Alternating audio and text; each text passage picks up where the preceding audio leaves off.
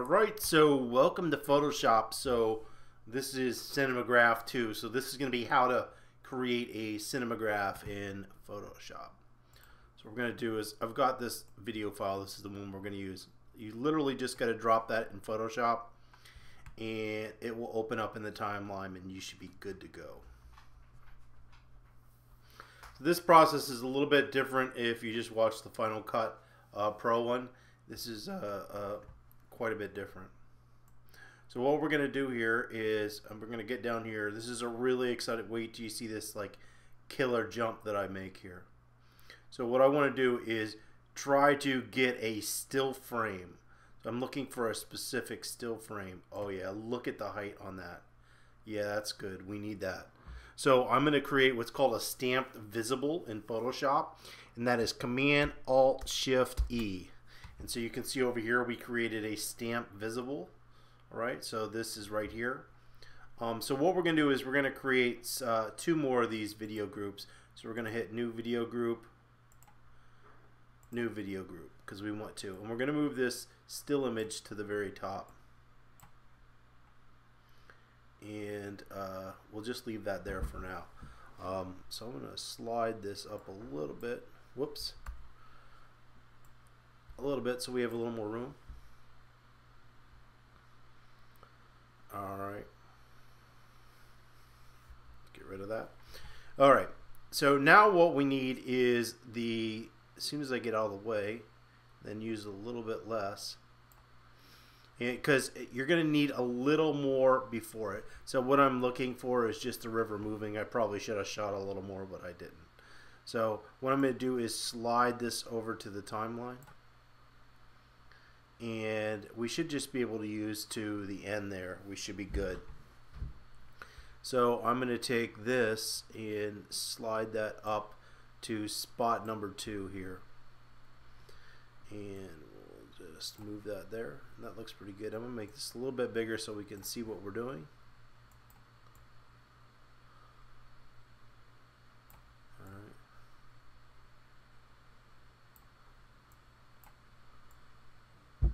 get our timeline all the way over. All right, so we've got our still image, and you can see I'm not moving up here. And then below it, we have the image um, where I'm actually moving. So if I slide this over, you can see not moving, not moving, and then we've got the river moving. So what we need to do is make a mask so it masks me in the still image. So we're going to slide this all the way over. Make sure you're selected on the top image here because that's pretty important. And we are going to come down here and make a mask. And so there's our mask. White is showing everything, but we don't want that. So what we're going to do actually is I'm going to, just for room, I'm going to slide this down. I'm going to zoom in a little bit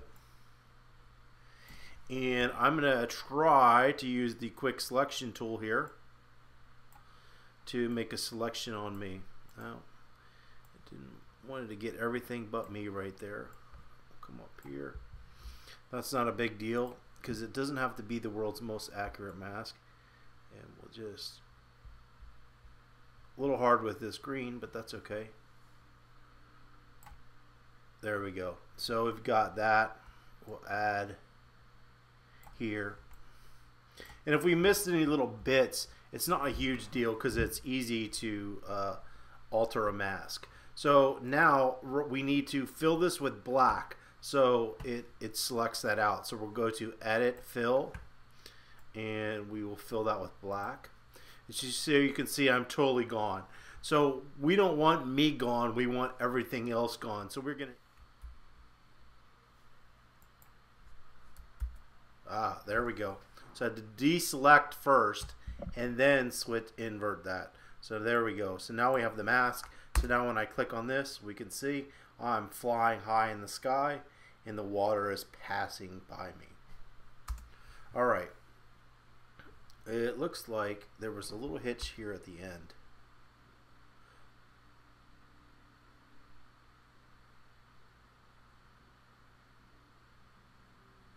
Yeah, it looks like when I was walking up it moved a little bit, so let's get rid of a little bit of that. That should be okay.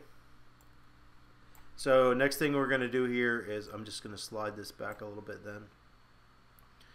Um, all right, so we have the fixed and this is fixed and that should that should fix that. So we're going to take this layer and copy it. And then we're going to hit Command V and we're going to duplicate it. Now we want this playhead and this playhead to be in the same spot, all right? And this is a little confusing. Then what we're going to do is we're going to slide. This playhead's not going to move. We're just going to add video that's before this clip. That's why we left a little. So you can see I want to go, I don't want to go too far where I'm in the image. So we'll just come here, which is good. And then we're going to take this clip and drag it to the end, which is exactly what we want. So then you're going to click, uh, select the top clip and you're going to hit this little drop down arrow and you should have opacity and you're going to click on opacity. And it is my fault. You're going to before you click on opacity you want the uh, little time editor to be at the beginning of this clip right here. Then you're going to hit opacity and it's going to set a keyframe. Then you're going to drag about halfway you're going to set click on the little diamond and make another keyframe and you're going to go up and you're going to change this opacity to zero. And then you're going to slide this keyframe to the end. And this is going to uh, make the loop.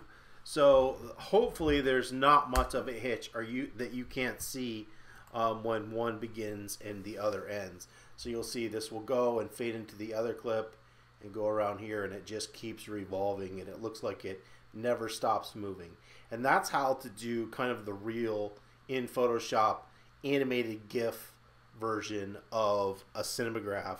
Now, this is not the most exciting uh, award-winning image, but um, just a tutorial.